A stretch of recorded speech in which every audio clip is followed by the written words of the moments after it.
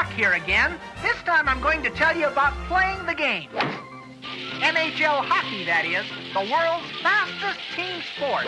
First, let's take a look at the rink. The game starts right here at the center face-off circle, like this. The referee drops little old me onto the ice between the two opposing centers. Uh, hi, guys. Now, easy does it, fellas. This is only a demonstration, you know. Now for the offsides that stop the game. There's what we call offside at the blue line.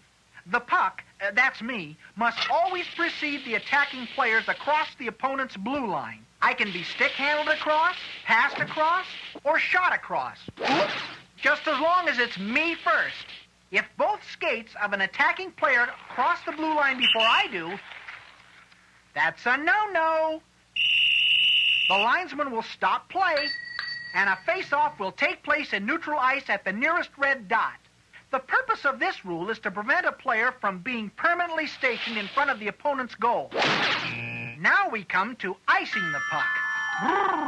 When a defensive player finds the going hot in his zone and decides to cool things off by shooting me all the way. Yikes! Back down the rink and across the opponent's goal line. Whoa!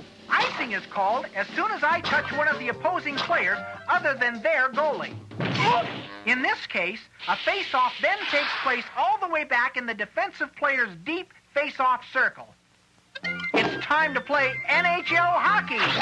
Woo! Keep your eye on me. I'm pretty fast.